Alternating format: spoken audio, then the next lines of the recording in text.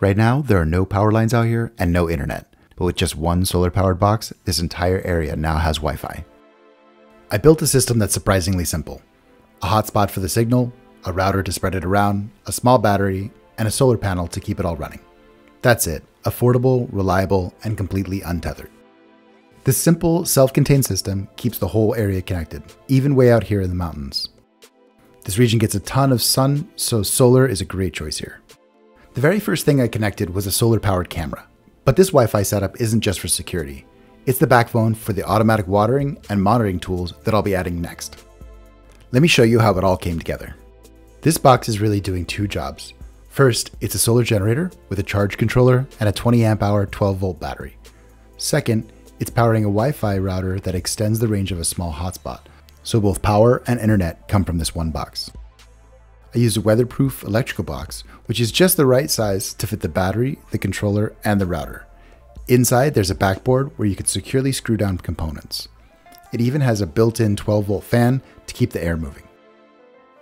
I used some strong, double sided tape to secure the hotspot and the router to the box. Since the router runs on 12 volts, it connects directly to the battery. For the hotspot, which is USB powered, I added a 12 to 5 volt buck converter with a USB C output. The wiring is pretty straightforward, mostly connecting positive to positive and negative to negative. I added a small fuse box, both for safety and to keep the wiring organized.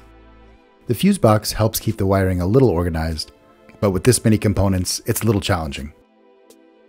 All the components get wired into the fuse box, and then the fuse box gets connected to the charge controller. The charge controller will be connected to the fuse box, the battery, and the solar panels. On the property, I found this 2 inch steel pipe, which turned out to be perfect for this project. I cemented it into the ground and used it as a mounting point for everything else. The electrical box can be mounted on a flat surface with screws or on a pole with these metal straps. This made installation quick.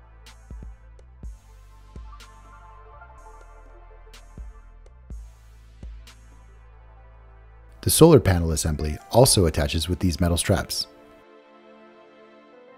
I just adjusted the height and then used a screwdriver to tighten the straps.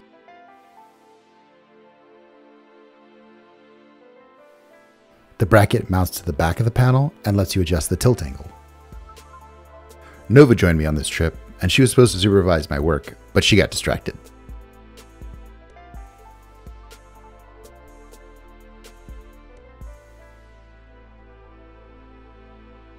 At first, I just set it roughly, then I fine-tune the angle to catch the most sun for the season. This 100 watt panel should be more than enough to keep my battery charged with just the router and hotspot on it.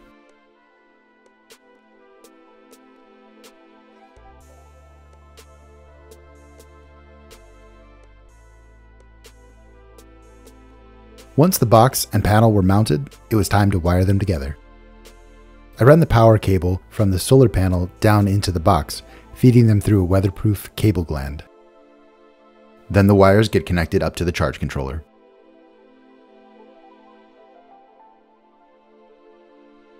Inside, I installed the battery and connected it to the charge controller, which manages the charging and power distribution.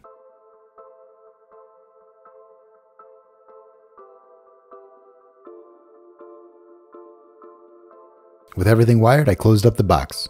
It's sealed and weather resistant, so it can handle being out here year round. This is a great build for powering small electronics with solar power. Instead of a hotspot and router, this could easily power irrigation equipment, monitoring tools, or even a Raspberry Pi.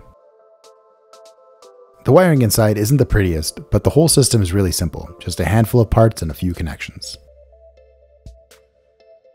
The nice part of it is that all these components are modular. As my needs change, I can reconfigure or repurpose them for other projects on the property.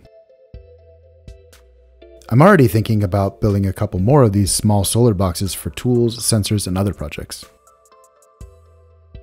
This one, though, will keep expanding. It's the Wi Fi backbone for monitoring and remote control across the orchard and the property. And when I need faster internet, I can upgrade to Starlink without changing the rest of the setup. The first thing I connected to the Wi Fi was a simple solar powered camera mounted right to the shed. Installation was quick, Just screw on the bracket for the camera and attach the little solar panel. This little camera, high up on the shed, gives a great view across the whole property. It's a fun way to use the system right away, and it gives me a real glimpse of the property even when I'm not here. Sunsets and views of the trailer have already been worth it. Thanks for watching.